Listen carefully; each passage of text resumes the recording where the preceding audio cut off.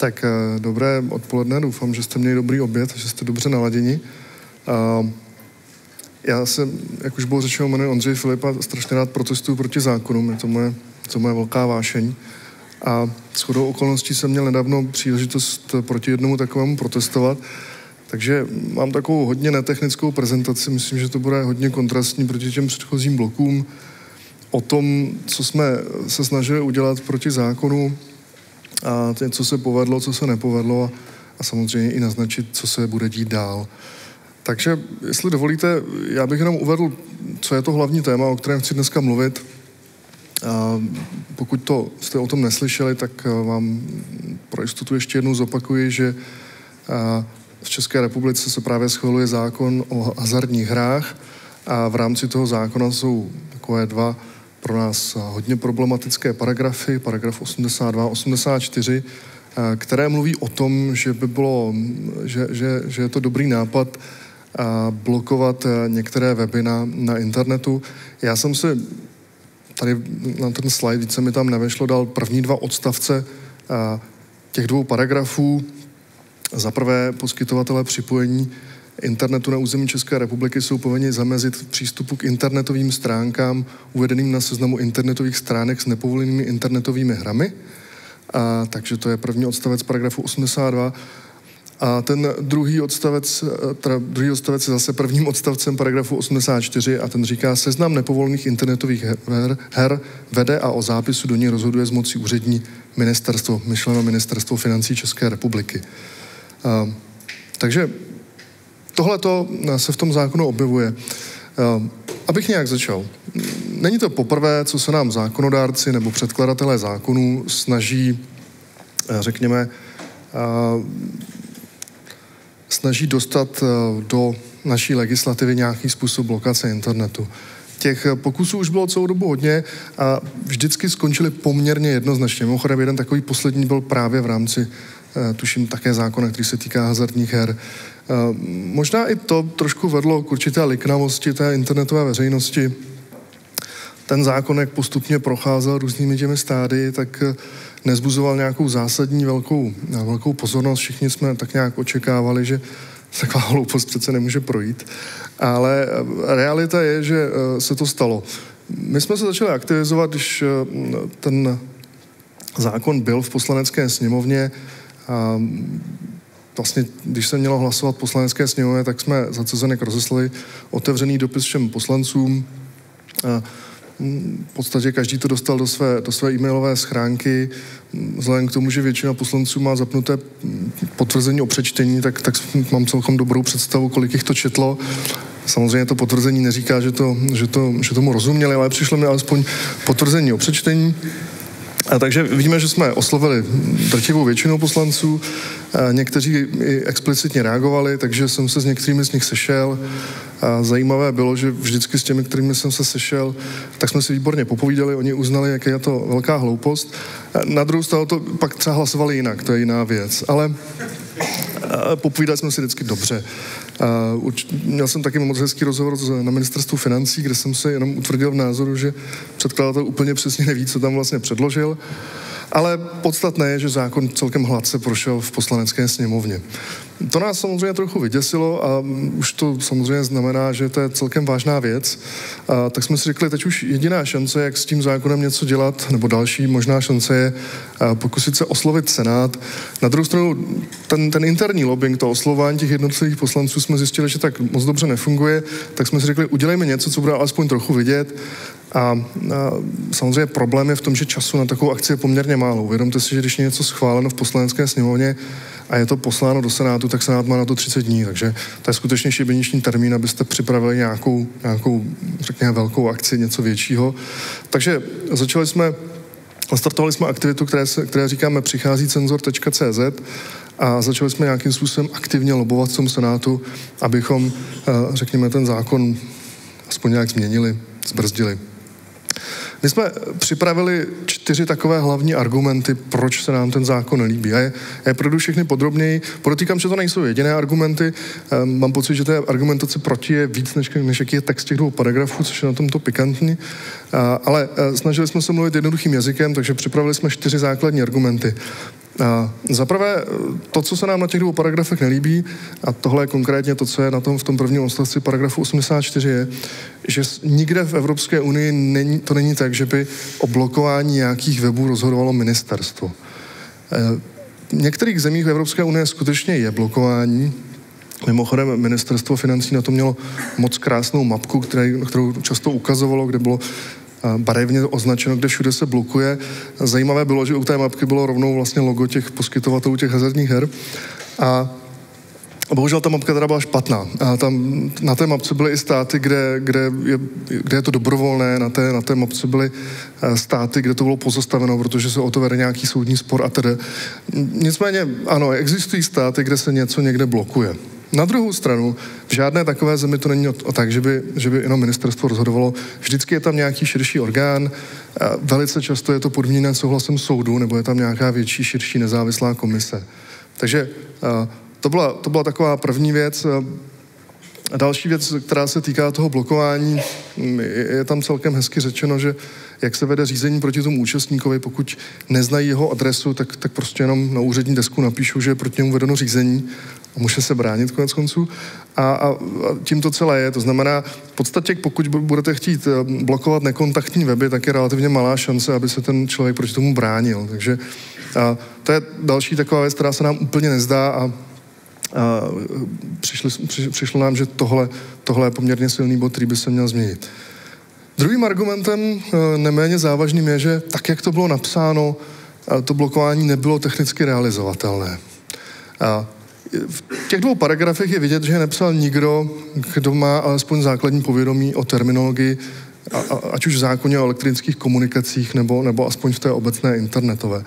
Eh, jeden příklad za všechny, ten, ten odstavec říká, že by se měly eh, blokovat internetové stránky. Já sice chápu, že asi existuje nějaká intuitivní představa, co to je internetová stránka, ale když už tak jsou to webové stránky, pochopitelně. Internet jako takový stránky nemá, ale, ale ten zákon mluví o něčem takovém. Člověk by si řekl, že když ten zákon se připravuje takové měsíce, projde takovým množstvím komisí, že takovéhle věci se tam doladí, ale zjevně se to nestalo. No a tak jsme si řekli, tak co to je internetová stránka? Z mého pohledu když přistoupím na tu drobnou nejasnost, tak pro mě je to například www.nic.cz lomeno domény lomeno něco. Jak mám takovouhle věc blokovat, pokud jsem poskytovatel připojení, tak to je samozřejmě složité, tak eh, jsme dlouho diskutovali a nakonec společnost Seznam odeslala na ministerstvo financí eh, dotaz, jak to, co to vlastně znamená a odpověď byla poměrně eh, jednoznačná. V tom seznamu budou konkrétní URL. A ti z vás, kteří už někdy něco takového filtrovali, tak si možná teď jako lámou hlavu, jak, jak takovou věc je možné zablokovat jednoduše. To prostě není o tom, že zablokujete nějakou IP adresu na firewallu, to není o tom, že to vypnete v dns to musíte skutečně koukat velice hluboko do těch paketů a, a dělat analýzu toho, co, co, co tudy teče. E, to, co je ještě jako zajímavější, je, že v těch dvou paragrafech zapomněli, a možná je to tím, že že to nepsali ti samí lidé, kteří běžně píší zákony. Eh, v těch dvou paragrafech si zapomněli dát zmocňující vyhlášku, která by třeba zpřesnila to technické řešení. Takže ministerstvo financí teď nemá možnost, jak přesně říct, co to vlastně znamená.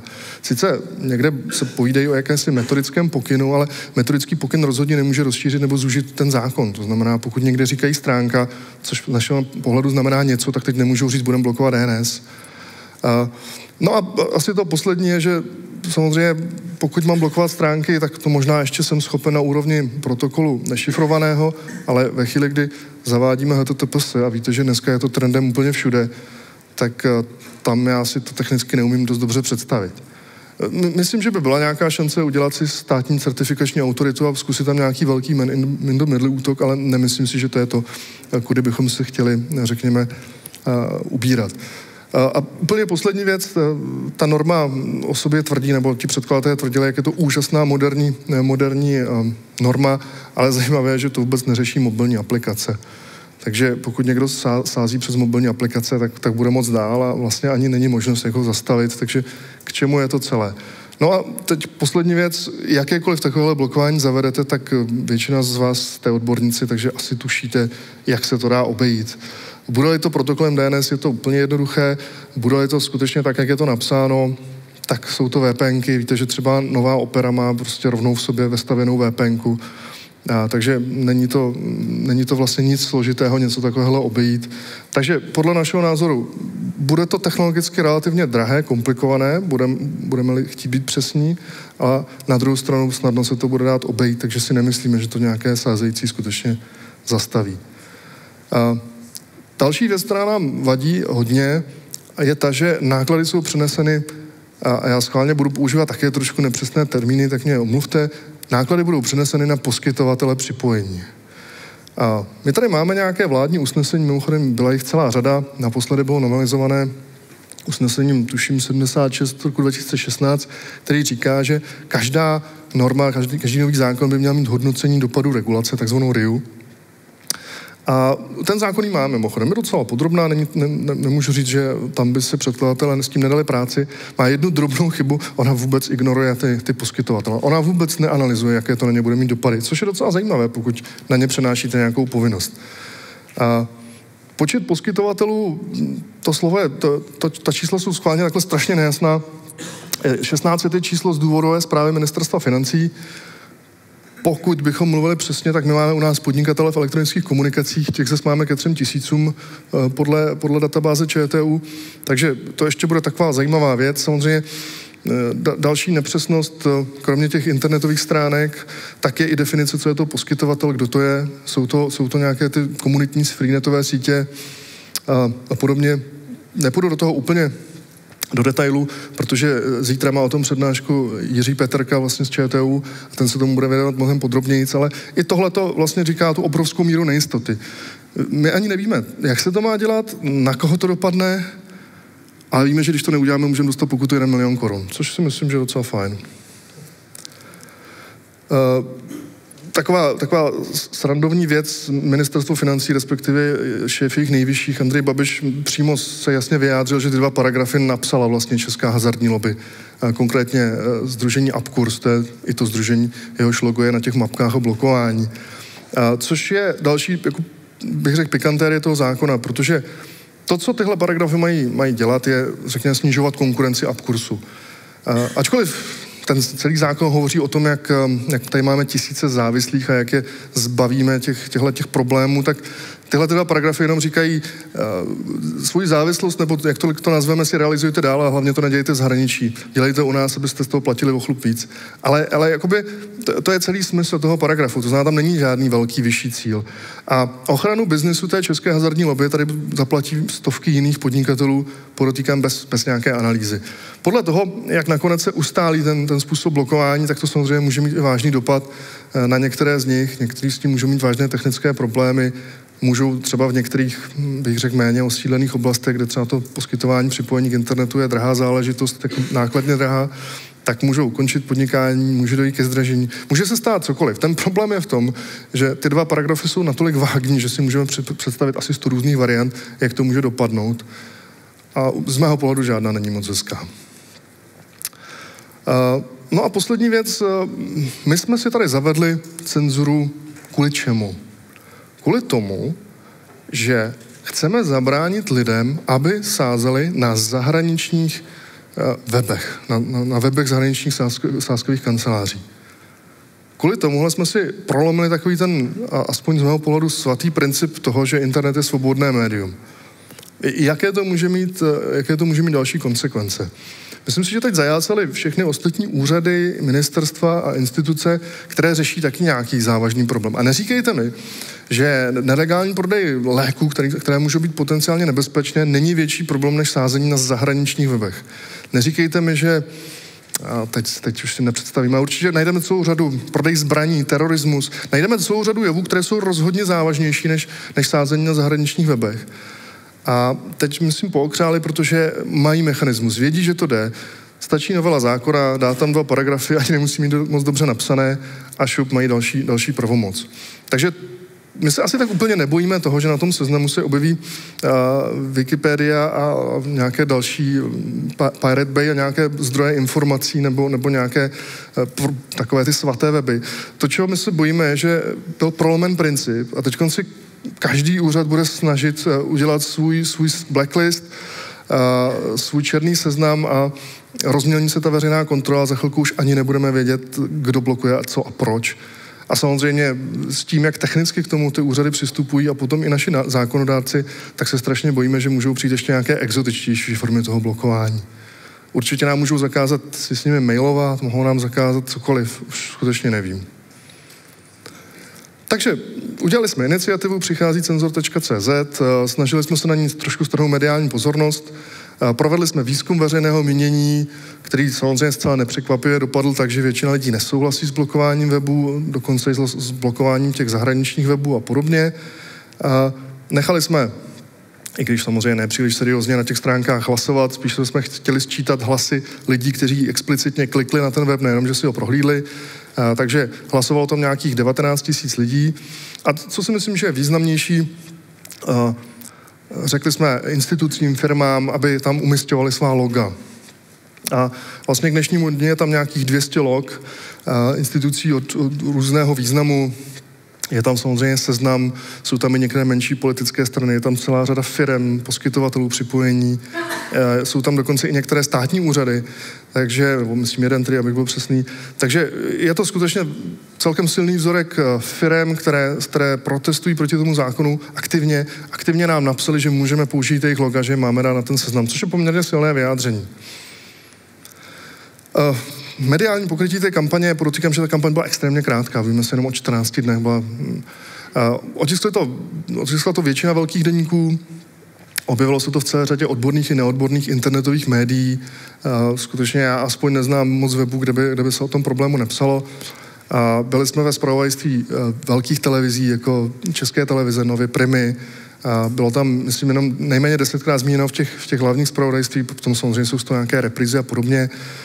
Mluvili jsme do ra, velkých rádií, Český rozhlas, radiožurnál, Český rozhlas Plus, Impuls a, a, a podobně. Takže bylo to celkem vidět, samozřejmě měli jsme, byli jsme vidět na těch sociálních sítích, které osobně bych nechtěl, nechtěl úplně přes, přeceňovat. A ta naše akce vrcholila a, a vlastně den, kdy se mělo hlasovat o tom zákonu, byla taková zvláštní legrace, že byl stanoven den schůze, kdy se má o tom hlasovat, ale, ale eh, údajně večer předtím bylo, bylo nějakými dohodami rozhodnuto, že to hlasování se přesune na další den, což jsme samozřejmě my nevěděli, ale to myslím, že vůbec nevadí. Kdy jsme se sešli před Senátem, a byli tam lidé, kteří měli taková krásná bílá trička, teď mě napadá, že jsem si ho taky mohl vzít, to mě mrzí, že jsem si ho nevzal, a, a, a měli velká razítka a hlavně měli informační letáky, které dávali těm senátorům s informacemi, proč si myslíme, že to není dobrý nápad.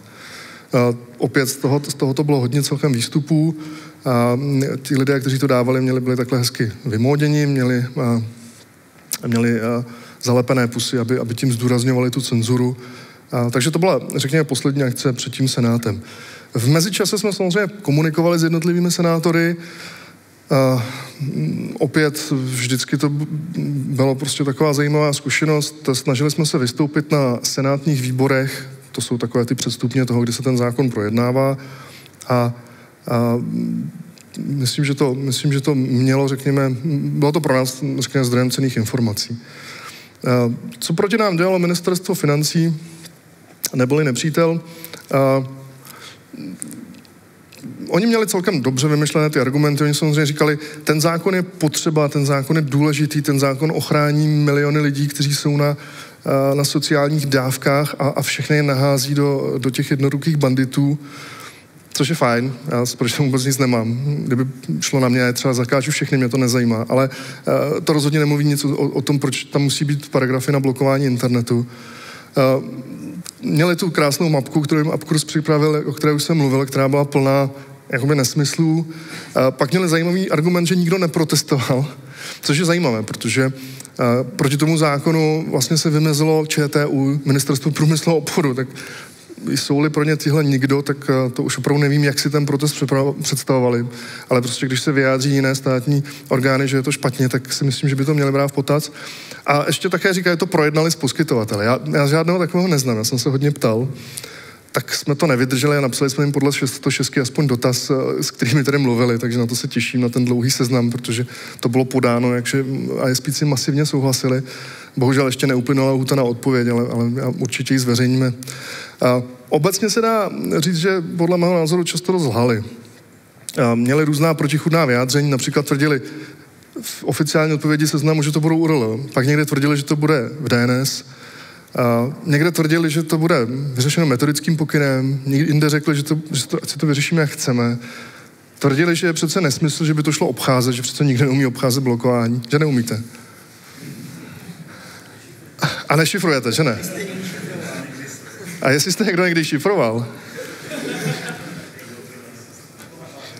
tak jste divný člověk. Takže prostě, jestli jste někdo sledoval tu závěrečnou rozpravu v Senátu, to byla celkem jako, uh, zdrojem mnoha můder, musím říct. Uh, jak to dopadlo v Senátu? Projednávání bylo ve čtyřech výborech, ústavně právními jsme nestihli, protože to, to jsme teprve začínali, tam, tam to celkem jednoznačně prošlo. A pak se nám zdálo, že, že ta naše aktivita má nějaký, má nějaký vliv.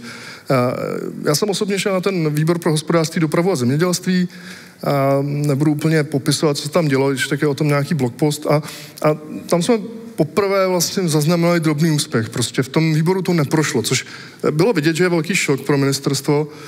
A tam přišli, tuším, dva lidi z ministerstva, pak přišel další výbor pro regionální rozvoj, veřejnou zprávu a životní prostředí, tam už přišli tři nebo čtyři, dva náměstci dokonce, že jako posilovali a zase to neprošlo, tak to je muselo hodně zklamat. A poslední výbor byl pro vzdělávání, vědu, kulturu, lidská práva a petice a tam už tady přišlo, myslím, šest. Takže jako už si to fakt posychrovali a bylo vidět, že i, že i docela komunikovali předtím s těmi senátory a ještě na druhou stranu nepřišlo hodně spíš těch opozičních, které, kteří ať už tomu věří nebo nevěří, tak chtěli být proti. Takže tamto, v tomto výboru to prošlo. Ten závěr vypadal tak, jak vypadal, takže jsme tušili, co se stane. Když přišlo to závěrečné hlasování, tak ten, tak ten zákon byl schválen 42 hlasy, což je celkem výrazná většina. Uvědomíme-li si, že je senátorů 81. A zajímavé bylo, že hlasovali pro i někteří, kteří třeba v těch výborech byli proti, takže tady je vidět, že tam ta, ta, ten interní komunikace tam funguje výborně. Uh, má to celé smysl. My jsme neměli mal, příliš velká očekávání, upřímně řečeno. My jsme si sami říkali, že ta šance je maličká, přesto jsme si říkali, že to musíme zkusit. A kdo jiný než, než Cezenik by do toho měl vrazit tu, tu energii, ačkoliv samozřejmě podotýkám, nechci vůbec upozadovat celou řadu asociací, které se snažily. Spěr byl velice aktivní rozhodně, některé společnosti, seznam, seznam už se jmenoval a, a ty nám všechny hodně pomáhali, takže v tomhle v tomhletom je musím chválit. Jsme říkali jsme si, musíme do toho vstoupit i my. Chtěli jsme upozornit na ten problém, protože veřejnost to samozřejmě nechápe, nevnímá. Chtěli jsme vysvětlit, v čem je to nebezpečné. Chtěli jsme určitě diskutovat o tom technickém řešení, protože to, co, to, co v tom zákoně je předvedeno, je, hrozné.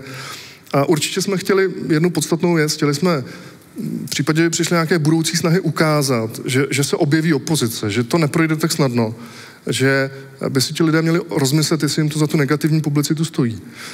Um, upřímně, já mám pocit třeba z ministra financí, že on očekával levné body politické, že, že při, prošla norma, on, on, že bude moct říkat, jak zachránil ti ty chudáky závislé uh, hráče a když, když ten zákon prošel, tak v mnoha novinách, jestli bych neřekl, že ve, většině prošlo, eh, prošel zákon o, zahar, o, o hazardu, který zavádí cenzuru. Takže jako, myslím si, že se mu to jako nepříjemně vrátilo, tahle ta věc. Ačkoliv já podotýkám, já nemám nic proti zbytku toho zákona. Uh, není, myslím, že to není tak zlé, ale, ale tyhle ty dva paragrafy, kdyby vypustili, tak si myslím, že, že to mělo pro ně mnohem lepší efekt.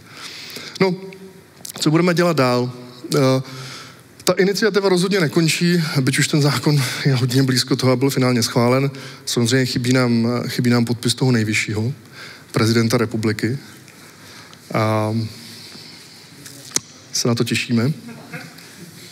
A my jsme se rozhodli, že samozřejmě připravíme nějaký podkladový materiál pro něj. Začali jsme nějakou diskuzi s jeho okolím. Jaká je šance, teď nechci odhadovat, ale ale nebude úplně velká samozřejmě. A další věc, jestliže to prezident podepíše, tak potom se připravujeme na asi už poslední zoufalý krok, to znamená sepsání návrhu na zrušení zákona pro ústavní soud. Myslím, že se tomu mediálně často říká ústavní stížnost, to není úplně přesný pojem. A na tom už jsme také začali pracovat, to znamená, spolupracujeme s právníky, kteří jsou schopni takovouhle věc napsat. A společně s ostatními združeními se snažíme dát dohromady, řekněme, nadkritické množství senátorů, kteří by mohli takovou stížnost podepsat. Nadkritické množství v tomto případě je 17. Takže pokud se něco takového podaří, tak bychom se snažili poslat ten návrh na zrušení zákona s nějakou argumentací, kterou, kterou jste dnes viděli. Uh, uvidíme samozřejmě, jak to dopadne, ale, ale je to asi poslední krok, který v tomto můžeme udělat. No a jak jsem říkal, i kdyby tohle nevyšlo, tak prostě budeme pokračovat dál, budeme hlídat další zákony a že už na, se na nás nějaké další valí mimochodem, uh, které by, které by šly podobným směrem a chceme, chceme ukazovat, že proč je to špatné a proč bychom se tomu měli bránit. Iniciativa pořád ještě běží, pokud se chcete připojit, tak je to uh, na té adrese přichází cenzor.cz, takže jste vítáni a pojďme do toho. A asi ještě poslední věc, chceme samozřejmě pokračovat i v tom technickém řešení. Je, je samozřejmě rozdíl, jestli ISP bude blokovat nějakým šíleným deep packet inspection, nebo jestli jenom prostě v lokálním DNS si dá nějaký, nějaký seznam ne, nepovolených adres. Pro mě je to samozřejmě, já z toho radost nemám, pro mě je to asi taková volba, když mi někdo dá na výběr, jestli jestli chci být zastřelen za A nebo, nebo za B, jestli mi zlomí ruce, vypíchnou oči a hodí mě takhle čelem do braveniště.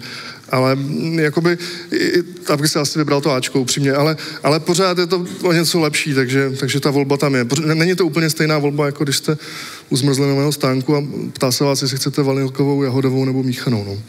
Takže tohle, tohle budou na, nějaké naše další kroky, budeme dál pokračovat a to je všechno, co jsem vám dneska chtěl říct. Děkuji moc za pozornost a pokud máte nějaké dotazy, tak rád vám je zodpovím.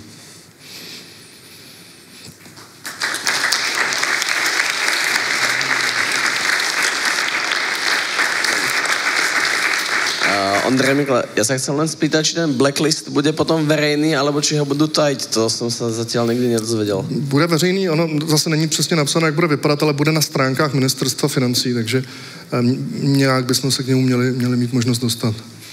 Tamhle vidím ještě vzadu. Dobrý den, Ivan Hruza. Uh, já bych se chtěl zeptat, jestli vzhledem k tomu, že teda stát to bude muset nějakým způsobem kontrolovat, tuhle tu aktivitu, aby za to případně mohl ukládat ty milionové pokuty, jestli už teda se vyjádřilo ministerstvo financí, jak to má v plánu, jestli teda začne špiclovat veškerý provoz všech občanů, jestli to některý z poskytovatelů povoluje, nebo jestli to blokování probíhá podle jejich představ. No, jak říkám, oni se ještě ani nevyjádřili, jak se to má dělat, takže jakoby představa, oni podle mě žádnou představu příliš nemají a nemyslím si, že teď ví, jak to budou dělat a nemyslím si, že to bude úplně jednoduché. A my ani nevíme, kde je ten poskytovatel připojení, podotýkám. Prostě to jsou dneska obce, to jsou dneska mm, různé, různé ty komunitní sítě. Padají do toho, nepadají. Je tam velká nejistota. Myslím si, že teď nevíme vůbec nic, takže bohužel. A říkám, není tam ani ta zpřesňující vyhláška. Tamhle, za, tamhle vzadu ještě vidím jednu ruku.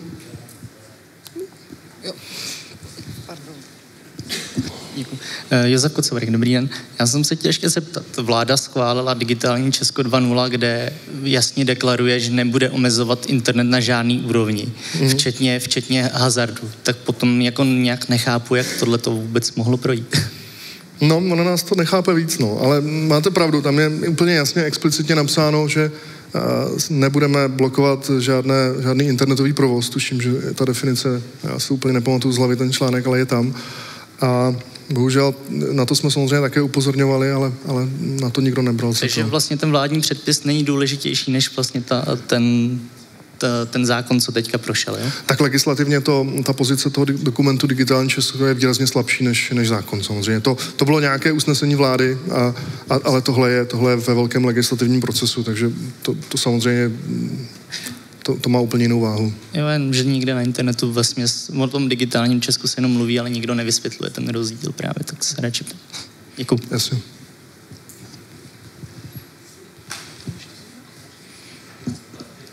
Já možná jenom k tomu on, eh, dotazu Ondry eh, Mikleho.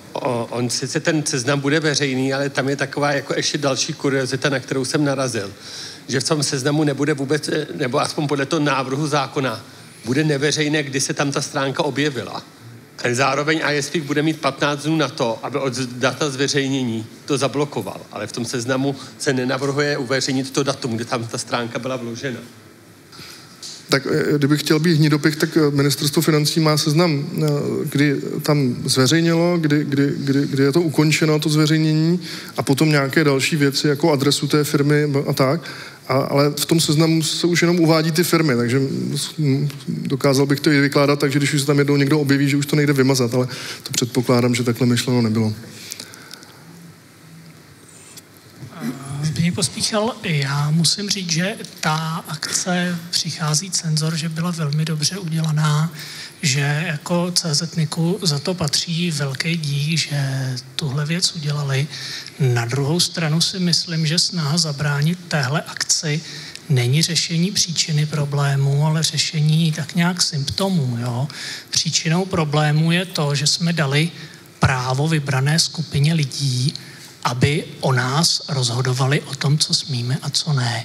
Tam je, tam je jako hlavní, hlavní, jádro, hlavní jádro toho problému, že většina, většina z vás může konkrétním jednotlivým lidem říkat, co smějí dělat a co, co dělat nesmějí. Děkuji. Já myslím, že by se to mělo zapsat, že nás by nějak pochválil.